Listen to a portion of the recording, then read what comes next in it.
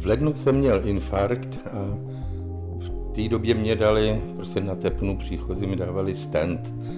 Od této doby prostě všechno už je lepší teda, ale posledních asi půl roku mám hrozné potíže s dechem a při sebe menší námaze. Prostě se nemůžu udejchat a musím se zastavit a mám velký tlak na levé straně. Zde vidíte cévu, která je v půlce přerušená, ucpaná, dál za ní nic nevede a právě ucpání této cévy krevní sraždinou způsobilo infarkt myokardu. Toto je potom ta samá céva, když se opravila, když se tam dala ta výstuž, ten stent, čili po opravě opět vidíte průtok v celém povodí té cévy. Abychom mohli žít, musí se naše srdce stáhnout 100 tisíckrát za den. Téměř 3 miliardy stahů zvládne srdce za průměrný lidský život.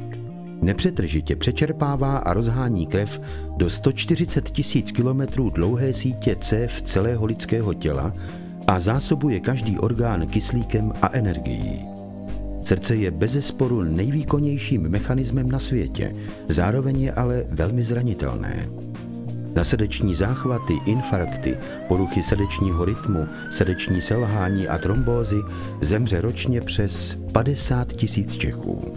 E, ta onemocnění srdce všeobecně má vzrůstající tendenci a e, dneska v podstatě máme 50% jistotu, že e, zemřeme buď na onemocnění srdce nebo cévní mozkovou příhodu, čili ta populace je obrovská v těch vyspělých zemích. Každý druhý člověk od určitého věku trpí onemocněním srdce nějakou jeho formou nebo na ní zemře. Jednou tak ten 4. ledna večer se mi najednou udělalo nějaký zle, že jsem si úplně sednul až a měl jsem hrozný tlak na prsou tady. A nemohl jsem popadnout dech. A mi to prostě jako pálilo, jako, jako divný, divný pocit. Společným jmenovatelem srdečních onemocnění bývá vysoký obsah cholesterolu v krvi. Ten se postupně ukládá ve stěnách cév a ucpává tak přívod k srdci. Cholesterol je sloučenina tuků, která je obsažena ve všech živočišných tkáních. Existují dva typy. HDL, který tělo chrání, a LDL, který tělu škodí.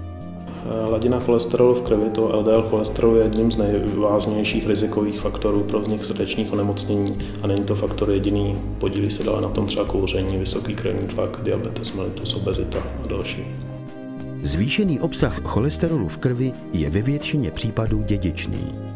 Životní styl a způsob stravy ale výrazně ovlivňuje pravděpodobnost vzniku srdečních onemocnění. Například spálení 2000 kalorií týdně při pohybu snižuje riziko infarktu na polovinu.